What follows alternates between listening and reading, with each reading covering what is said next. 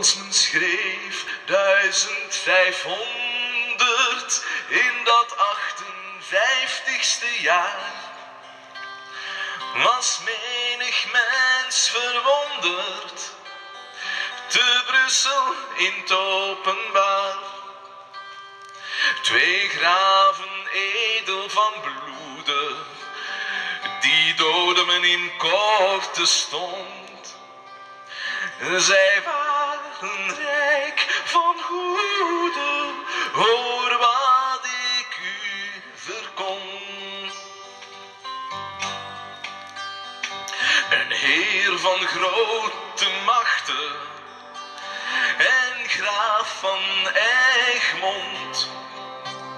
Als een schaap ging hij te slachten, gekomen was uur en stond.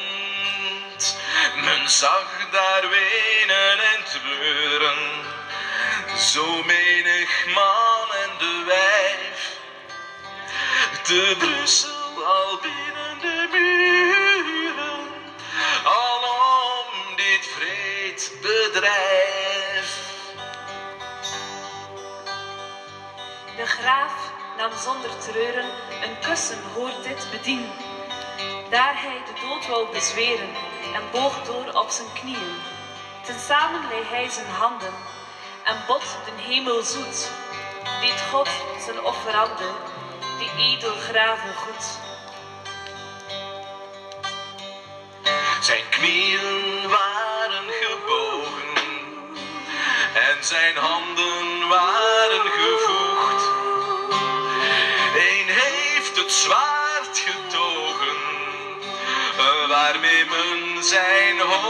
afsloeg. Zijn bloed zag men daar stralen in die bedroefde stond. God zal die wraken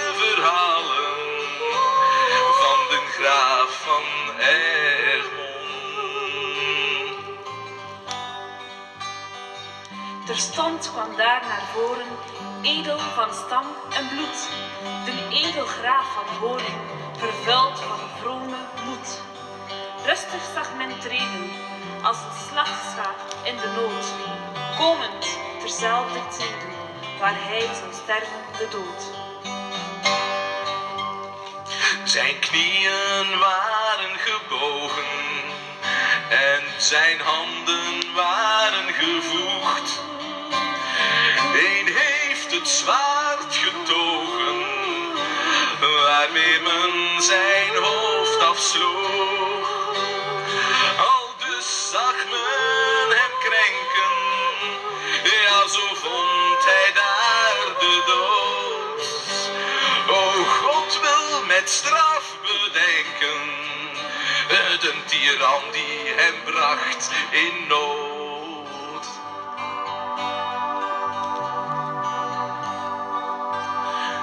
Dukdalve met u genoten, zijt gij niet zat van het bloed dat gij in Napels hebt vergoten? Daar viel zo menig man goed. Wat waren het voor valsigheden toen gij er u dodelijk in laten kneden tot noordeloze pijn.